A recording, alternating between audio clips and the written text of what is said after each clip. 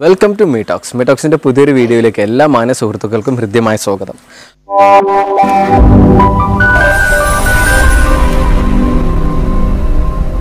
ഇന്നത്തെ വീഡിയോയിൽ നമ്മൾ ഡിസ്കസ് ചെയ്യാൻ പോകുന്നത് സോർക്രോപ്പ് ഗോർജിങ് വെള്ളക്കെട്ട് എന്നൊക്കെ പറയുന്ന ഈ ഒരു അവസ്ഥയെക്കുറിച്ചാണ്. കഴിഞ്ഞ വീഡിയോയിൽ നമ്മൾ വളരെ ഡീറ്റെയിൽ ആയിട്ട് പൗട്ടേഴ്സിനെ എങ്ങനെ കെയർ ചെയ്യാമെന്ന് ഡിസ്കസ് ചെയ്തിട്ടുണ്ടായിരുന്നു. ആ വീഡിയോ കാണാത്തവരുണ്ടെങ്കിൽ ഈ വീഡിയോയുടെ താഴെ ഞാൻ അതിന്റെ ലിങ്ക് ഇടുന്നുണ്ട്. ജസ്റ്റ് ഒന്ന് കയറി കാണുക. സോർക്രോപ്പ് ഗോർജിങ് അല്ലെങ്കിൽ വെള്ളക്കെട്ട് ഇതെന്താണ് എന്ന് ചോദിച്ചാൽ പൊതുവെ നല്ല ബൗളിംഗ് വരുന്ന നല്ല പൗട്ടിങ് വരുന്ന ബേഡ്സിനാണ് ഗോർജിങ്ങിന് ചാൻസ് കൂടുതലുള്ളത്. നോർവിച്ച് ഗാഡിറ്റാന പോട്ടർ പോലത്തെ ഹെവി പൗട്ടിങ് വരുന്ന ബേഡ്സിന്. ഈ ഒരു അവസ്ഥ എന്ന് പറയുന്നത് അവരുടെ എയർ പിടിക്കുന്ന ഭാഗത്തേക്ക് ഫുഡും വെള്ളവും ഇറങ്ങുകയും അവരുടെ വയറ്റിലേക്ക് ഫുഡും വെള്ളവും എത്താതെ അവർക്ക് നല്ല വിശപ്പ് ഫീൽ ചെയ്യുന്ന സമയത്ത് അവർ വീണ്ടും വീണ്ടും ഫുഡും വെള്ളവും കഴിക്കുകയും ചെയ്യും. ഇതൊരിക്കലും അവിടെ വയറ്റിലേക്ക് എത്തുന്നില്ല. ഇത് ക്രോപ്പിൽ തന്നെ നിൽക്കുകയാണ്. ഈ ഒരു അവസ്ഥയാണ് ശരിക്കും സോർ ക്രോപ്പ് അല്ലെങ്കിൽ വെള്ളക്കെട്ട് എന്ന് പറയുന്നത്. എല്ലാ പൗട്ടേഴ്സിനും ഈ ഒരു അവസ്ഥ വരാൻ ചാൻസ് ഉണ്ട് ഈ ഒരു അവസ്ഥ വരാനുള്ള കാരണങ്ങൾ ഒന്നാമതായിട്ട് നമ്മൾ ഡിലേ ആയിട്ട് ഫുഡും വെള്ളവും കൊടുക്കുക എന്നതാണ്. മറ്റൊന്ന് ഒരു ലോഫ്റ്റിൽ നിന്ന് മറ്റൊരു ലോഫ്റ്റിലേക്ക് ലോങ് ട്രാവലിംഗ് കഴിഞ്ഞ് എത്തുന്ന ബേഡ്സ് അവർക്ക് നല്ല സ്ട്രെസ് ഉണ്ടായിരിക്കും. ഈ ഒരു കാരണം കൊണ്ട് തന്നെ അവർക്ക് വെള്ളക്കെട്ട് വരാൻ ചാൻസ് കൂടുതലാണ്. പൊതുവേ പൗട്ടേഴ്സ് സ്ട്രെസ്ഫുൾ ആയിട്ടുള്ള ബേഡ്സാണ് അപ്പോൾ പെയറിൽ നിൽക്കുന്ന ബേഡ്സിനെ സെപ്പറേറ്റ് ചെയ്യുക. അങ്ങനെ സഡൻ ആയിട്ട് എന്തെങ്കിലും ഒരു കാര്യം സംഭവിച്ചു കഴിഞ്ഞാൽ അവർക്ക് സ്ട്രെസ് നന്നായിട്ട് ഫീൽ ചെയ്യും. ഈ ഒരു സമയത്ത് തന്നെ വെള്ളക്കെട്ട് വരാൻ ചാൻസ് കൂടുതലാണ്. ഇനി നീറ്റ് അല്ലാത്ത ക്ലീൻ അല്ലാത്ത കേജിന്റെ അറ്റ്മോസ്ഫിയറും ഒരു പരിധി വരെ ഇവരുടെ ഈ ഒരു അവസ്ഥയ്ക്ക് കാരണമാണ്. വേറൊരു കാര്യം പറയാനുള്ളത് ക്ലൈമറ്റ് ചേഞ്ച് ആണ്. സഡൻ ആയിട്ട് വരുന്ന ക്ലൈമറ്റ് ചേഞ്ചും ഒരു പരിധി വരെ ഇവരുടെ വെള്ളക്കെട്ടിന് കാരണമാകുന്നുണ്ട്.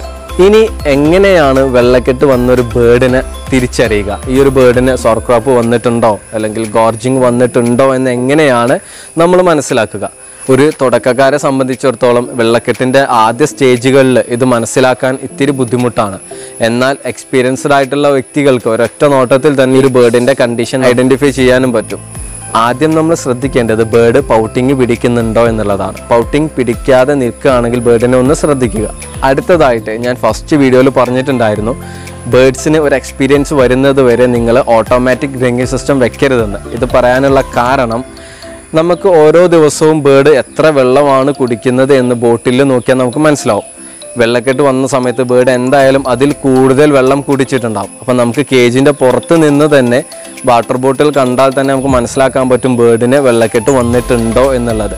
ബേർഡ് വെള്ളം മാത്രമല്ല അധികമായിട്ട് കുടിക്കുക. ഫുഡും അധികമായിട്ട് കഴിക്കാറുണ്ട്. നമ്മൾ ചെയ്യേണ്ടത് ഇങ്ങനെ സംശയമുള്ള ബേർഡിനെ കയ്യിലെടുക്കുക. ബേർഡിനെ കയ്യിലെടുത്തതിന് ശേഷം ബേർഡിനെ ഇങ്ങനെ അപ്പ് ആൻഡ് ഡൗൺ ചെയ്യുക. അപ്പ് ആൻഡ് ഡൗൺ ചെയ്യുന്ന സമയത്ത് വെള്ളക്കെട്ട് വന്നിട്ടുള്ള ബേർഡാണെങ്കിൽ ക്രോപ്പ് ഇങ്ങനെ നന്നായിട്ട് ഇങ്ങോട്ട് ഹാങ് ആയിട്ട് വരും. വെള്ളക്കെട്ട് വന്ന ബേർഡിന് ഇങ്ങനെ പോട്ടിങ് പിടിക്കാൻ കഴിയില്ല. അപ്പോൾ നമ്മൾ ഇങ്ങനെ പിടിച്ചു നോക്കുന്ന സമയത്ത് തന്നെ നമുക്ക് വെള്ളം ഇവിടെ ഇങ്ങനെ ഹാങ് ആയിട്ട് നിൽക്കും. ഒരുപക്ഷെ വെള്ളവും ഫുഡും ഉണ്ടെങ്കിൽ ഇത് നന്നായിട്ട് താഴേക്ക് ഹാങ് ആയിട്ട് വരും. ഇതിപ്പോൾ ഫ്രീ ആണ്. എയർ മാത്രമാണ് ഈ ഒരു ക്രോപ്പിലുള്ളത് ഇങ്ങനെ ചെക്ക് ചെയ്ത് നോക്കുക ബേർഡിന് വെള്ളക്കെട്ട് വന്നിട്ടുണ്ടോ ഇല്ലേ എന്നുള്ളത്. വെള്ളക്കെട്ടിന് മൂന്ന് സ്റ്റേജുകളുണ്ട്. ഒന്നാമത്തെ സ്റ്റേജിൽ ബേർഡിന്റെ ക്രോപ്പിൽ വെള്ളം മാത്രമാണ്. ഫുഡിന്റെ കണ്ടന്റ് വളരെ കുറവാണ്. ബേർഡ് നല്ല ആക്റ്റീവ് ആണ്. പക്ഷേ പൗട്ടിങ് എടുക്കുന്നില്ല.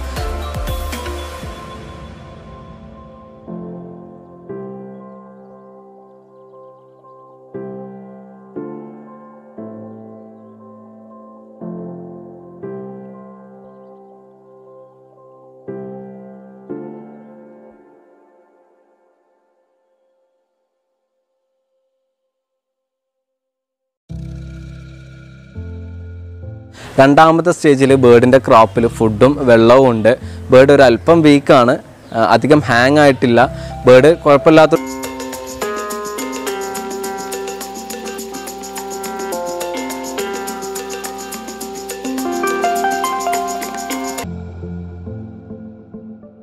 മൂന്നാമത്തെ സ്റ്റേജ് ഏറ്റവും എക്സ്ട്രീം ആയിട്ടുള്ള ലെവലാണ് ബേർഡിന്റെ ക്രോപ്പിൽ കംപ്ലീറ്റ്ലി ഫുഡും വെള്ളവുമാണ്. ക്രോപ്പ് താഴെ താഴെ ഭാഗത്ത് തട്ടി നെക്ക് ബെൻഡായിട്ട് തല താഴ്ത്തിയാണ് ബേർഡ് നിൽക്കുക.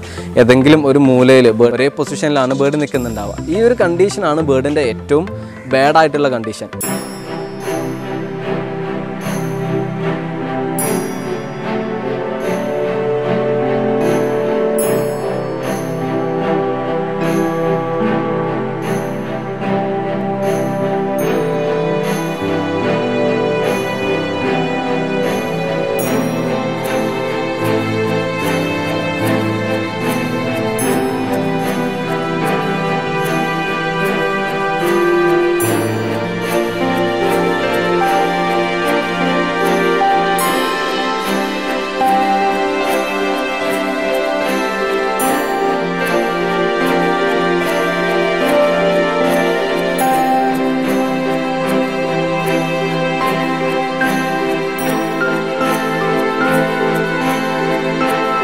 ചാൻസ് ഉണ്ട്. ക്രോപ്പിൽ വെള്ളം മാത്രമാണ് ഫുഡില്ല ഈ ഒരു അവസ്ഥയിൽ എങ്ങനെയാണ് നമ്മൾ ക്രോപ്പ് ക്ലീൻ ചെയ്യുക എന്നതാണ് നമ്മൾ നോക്കുന്നത്. ഈ ഒരു സാഹചര്യത്തിൽ നമുക്ക് അധികം എക്യുപ്മെൻസിന്റെയോ ഒന്നിന്റെയും ആവശ്യമില്ല. വെറുതെ നമ്മൾ ബേർഡിനെ എന്ത് ചെയ്യുക? ഇങ്ങനെ അപ്പ് ആൻഡ് ഡൗൺ ലിഫ്റ്റ് ചെയ്യുക. ലിഫ്റ്റ് ചെയ്തതിന് ശേഷം ഹാങ് ആയിട്ടുള്ള ക്രോപ്പിൽ കൈ വെച്ചിട്ട് ഇങ്ങനെ മുകളിലേക്ക് ഇങ്ങനെ ബേർഡിന്റെ ഈ പൊസിഷൻ ഈ ഒരു ക്രാപ്പ് ഇങ്ങനെ മുകളിലേക്ക് വരുന്ന പോലെ കൈ കൊണ്ട് ഇങ്ങനെ ലിഫ്റ്റ് ചെയ്ത് കൊടുക്കുക. ഇങ്ങനെ ലിഫ്റ്റ് ചെയ്യുന്ന സമയത്ത് വായിലൂടെ എന്ത്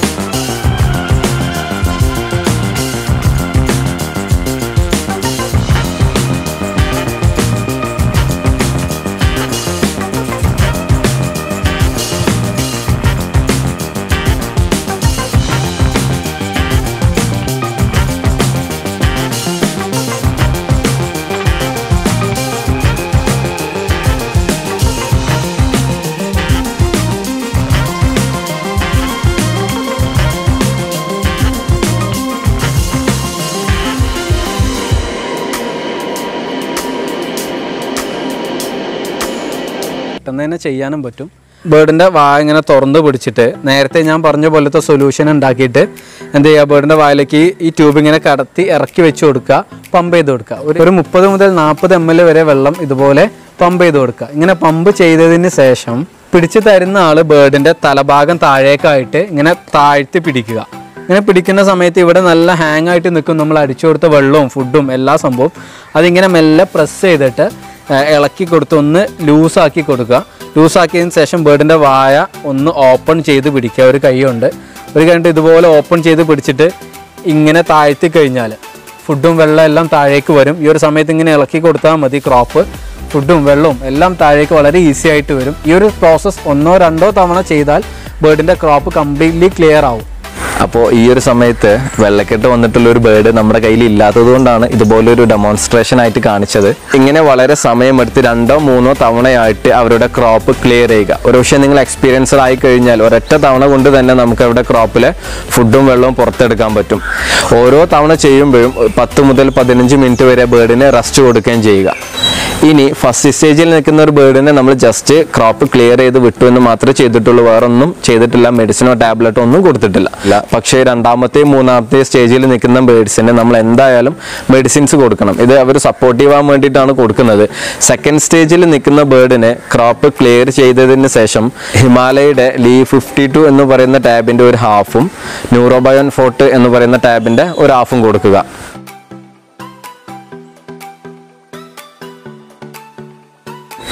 ഒരൊറ്റ തവണ കൊടുത്താൽ മതി. ഇനി ക്രോപ്പ് ഇൻഫെക്ഷൻ വന്ന ബേർഡ് ആണെങ്കിൽ നമ്മൾ എന്തായാലും അവർക്ക് ആന്റിബയോട്ടിക് കൊടുക്കേണ്ടതായിട്ടുണ്ട്. നമ്മൾ കൊടുക്കേണ്ട മെഡിസിൻ സിഫ്ലോക്സ് ടി സെറ്റ് എന്ന് പറയുന്ന ടാബ്ലറ്റ് ആണ്. ഈ ഒരു ടാബ്ലറ്റ് ഒരു ടാബ്ലറ്റ് എട്ട് പീസാക്കിയിട്ട് അതിൽ ഒരു പീസാണ് നമ്മൾ കൊടുക്കേണ്ടത്. ഇങ്ങനെ ചെയ്യുന്നത് പ്രധാനമായിട്ടും എല്ലാവർക്കും അറിയുന്ന ഒരു സംഭവമാണ്. ബേഡ്സിന് വേണ്ടിയിട്ടുള്ള മെഡിസിൻസ് നമ്മുടെ മാർക്കറ്റിൽ അവൈലബിൾ അല്ല. അപ്പോൾ അതുകൊണ്ട് തന്നെ നമുക്ക് കിട്ടുന്ന മെഡിസിൻസ് നമ്മൾ ബേഡ്സിന്റെ ഡോസേജിലേക്ക് കൺവേർട്ട് ചെയ്യാണ് ചെയ്യുന്നത്. അതുകൊണ്ടാണ് ഈ ഒരു ടാബ് എട്ട് പീസാക്കണം എന്ന് പറയുന്നത്. ഈ എട്ട് പീസിൽ ഒരു പീസും ലീ ഫിഫ്റ്റി ടൂയുടെ ഒരു ഹാഫും ന്യൂറോബയൻ ഫോർട്ടിന്റെ ഒരു ടാബ്ലറ്റും ഇതാണ് നമ്മൾ ബേഡിനെ കൊടുക്കേണ്ടത്.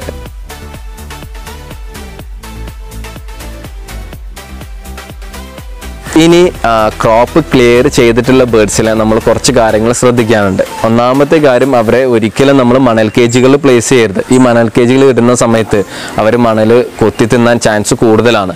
മറ്റൊരു കാര്യം അവർക്ക് വളരെ ലിമിറ്റഡ് ആയിട്ട് മാത്രമേ ഫുഡ് കൊടുക്കാൻ പാടുള്ളൂ. കാരണം സോർ ക്രോപ്പ് വന്നതുകൊണ്ട് വീണ്ടും അത് വരാനുള്ള ചാൻസ് കൂടുതലാണ്. ഇനി അവർക്ക് കുടിക്കാൻ കൊടുക്കുന്ന വെള്ളത്തിൽ ആപ്പിൾ സിഡർ വിനാഗിരി യൂസ് ചെയ്യുന്നത് വളരെ ഹെൽപ്ഫുൾ ആണ്. അവരുടെ ഫുഡുകൾ പെട്ടെന്ന് ദഹിച്ചു പോകാനും അവർക്കൊരു സപ്പോർട്ടീവായിട്ട് നിൽക്കാനും ഇത് യൂസ്ഫുൾ ആണ്. ഇത് യൂസ് ചെയ്യേണ്ട മെത്തേഡ് ഒരു ലിറ്റർ വെള്ളത്തിൽ അഞ്ച് എം എൽ ആണ് ആപ്പിൾ സിഡർ വിനാഗിരി ഡൈലൂട്ട് ചെയ്യേണ്ടത്.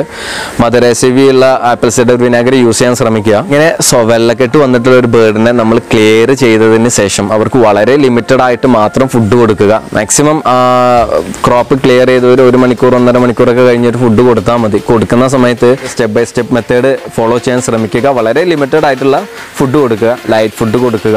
അവർക്ക് ഒരു മൂന്ന് ദിവസം നല്ല കെയർ കൊടുക്കുകയും ചെയ്യുക. ഇങ്ങനെ സോർക്രോപ്പ് വന്നൊരു ബേർഡിനെ വളരെ സിമ്പിളായിട്ട് നമുക്ക് ആ ഒരു അവസ്ഥയിൽ നിന്നും ക്ലിയർ ചെയ്യാൻ പറ്റും. അപ്പം ഞാൻ ഈ പറഞ്ഞിട്ടുള്ള കാര്യങ്ങൾ നിങ്ങൾക്ക് എല്ലാവർക്കും മനസ്സിലായിട്ടുണ്ടാവും എന്ന് വിചാരിക്കുന്നു. നിങ്ങൾ തീർച്ചയായിട്ടും നിങ്ങളുടെ അഭിപ്രായങ്ങൾ കമന്റ് ചെയ്യണം. ഇങ്ങനെ കമന്റ് ചെയ്യുന്ന സമയത്ത് മാത്രമാണ് എനിക്ക് നിങ്ങളുടെ അഭിപ്രായങ്ങൾ എന്താണെന്ന് മനസ്സിലാക്കാൻ പറ്റുന്നുള്ളൂ. കൂടാതെ നിങ്ങൾ ഈ ഒരു ചാനൽ ആദ്യമായിട്ടാണ് കാണുന്നതെങ്കിൽ തീർച്ചയായിട്ടും നിങ്ങൾ ഒരു ചാനൽ സബ്സ്ക്രൈബ് ചെയ്യുകയും തുടർന്ന് വരുന്ന ബെല്ലൈക്കണം കൂടെ എനേബിൾ ചെയ്ത് വെക്കണം. എന്നാൽ മാത്രമേ ഞാൻ അപ്ലോഡ് ചെയ്യുന്ന പുതിയ വീഡിയോകളുടെ നോട്ടിഫിക്കേഷൻ നിങ്ങൾക്ക് ലഭിക്കുകയുള്ളൂ.